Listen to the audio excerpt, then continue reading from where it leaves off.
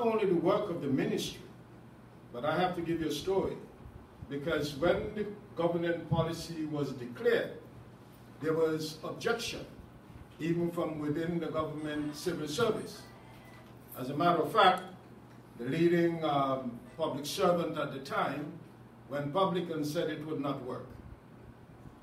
Uh, but we were of the view that it's not a matter of if, it was an imperative that the issue of plastics, especially single-use plastic bags, had to be addressed.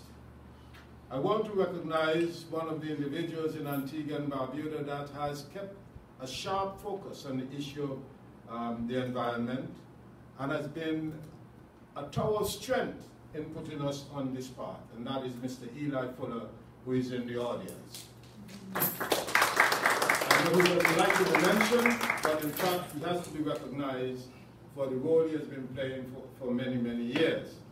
I also wish to recognize uh, Mr. Barrett as um, the operator of the largest supermarket in Antigua and Barbuda, and he too came on board with other uh, private sector individuals. And I'm pleased that you're here again, Mr. Barrett, because it shows or demonstrates that you understand the success of eliminating single-use plastics is only one round. There are many more rounds to go. The fact is that um, over the last several months, I have to make an admission here, I became a bit stuck because we discuss in the Ministry of Health next steps. It's good that we can boast that we have successfully eliminated uh, single-use plastic bags and polystyrene. But we didn't believe that we had the technical capacity to go to the next step. And that next step is a policy of the government that simply states that all waste should be considered resource. All waste on the island should be considered resource. It means that we are thinking of zero waste. But the idea of putting the necessary infrastructure, the necessary capacity for zero waste was not within our grasp. And then we heard of IUCN and its capacity being the longest serving environmental serving organization in the world and the largest.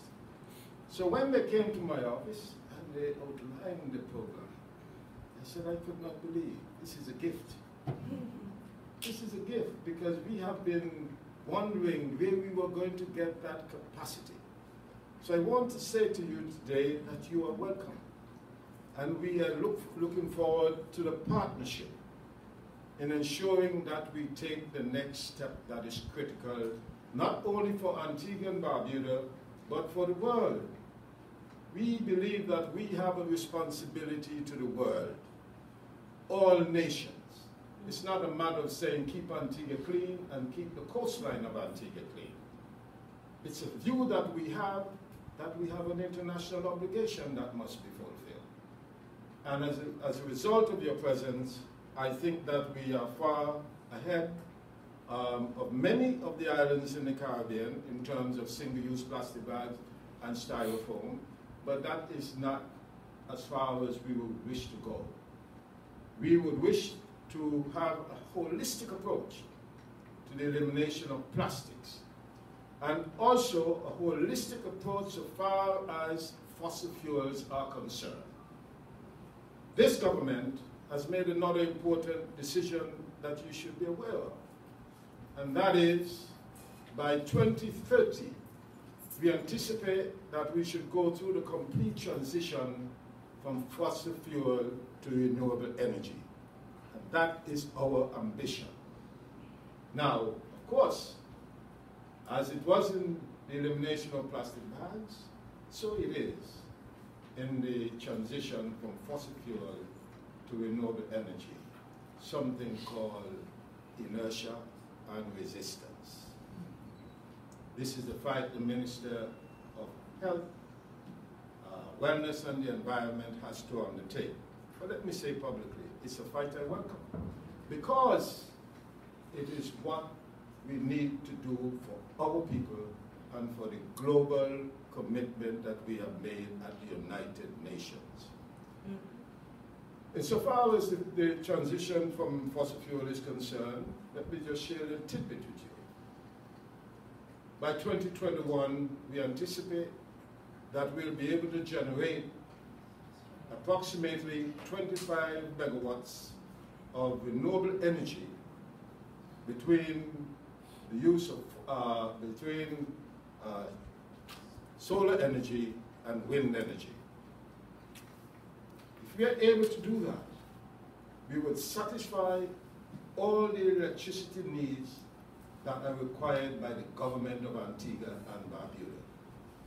That will leave approximately another 30 um, megawatts that we need to uh, change from fossil fuel to renewable energy. This is the position of the Ministry of the Environment, the Department of the Environment. We know it's not going to be an easy uh, way ahead, but we are ready to stand up so that the right thing is done, not only for the people of Antigua and Barbuda, for the global health of all, all, all nations, for the health of all nations, and um, respect the planet. Now, I want to thank the government of Norway, uh, who is also partnering with IUCN uh, to undertake this project. As you know, it was the government of Norway that financed the Plato concert here in Antigua and Barbuda, which was a tremendous success.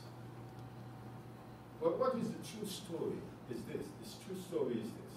And I'm very, very happy to say this in Antigua and Barbuda. I want to declare publicly that I have confidence in the people of Antigua and Barbuda that they're fully on board with the direction of this government's policy. The fact is, there could be many doubters. But we have more people advocating good environmental practice than those who are doubting that we should go in this direction. It is a credit to the people of Antigua and Barbuda. There are many island states right now that are struggling to go through this conversion, to get their citizens to embrace the responsibility of preserving the environment. I dare say not so in Antigua and Barbuda. I think that we have turned the corner in terms of the citizenry and their consciousness of the importance of preserving our environment. And I want to commend the people of Antigua and Barbuda, and for the record, I would appreciate if you give yourself a round of applause.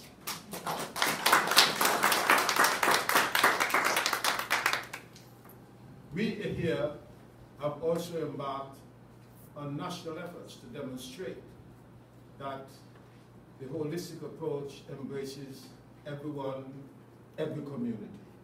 As I stand here, the Ministry of Health, in collaboration with other ministries, have undertaken an island-wide cleanup of derelict vehicles in Antigua and Barbuda.